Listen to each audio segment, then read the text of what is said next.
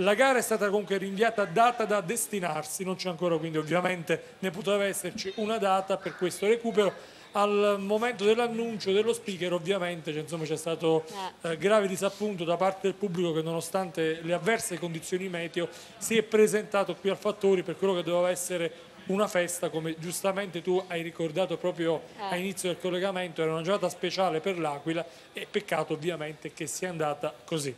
Sì, davvero Ecco, una giornata speciale, no? Io penso anche che Lucio Michele e Mario Facco arrivando Sì. all'Aquila, città che ha purtroppo sofferto e ha pagato con tantissime vittime, 308 il terremoto del 2009.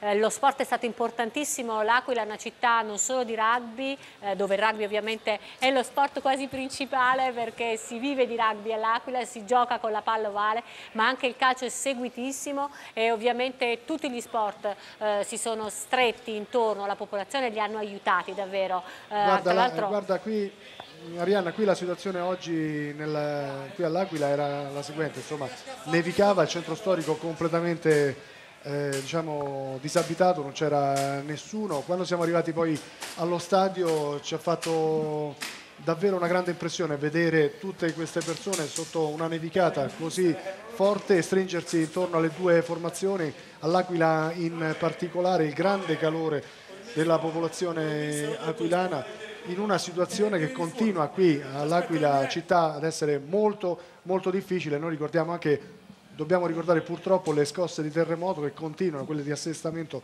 anche in questi giorni hanno Certo. continuato a, a dare davvero a mettere grande paura qui alla popolazione e noi ricor- dobbiamo ricordare che il centro storico ne parlavamo eh, poco fa con, eh, anche in albergo, insomma, è stato chiuso nuovamente per dei controlli.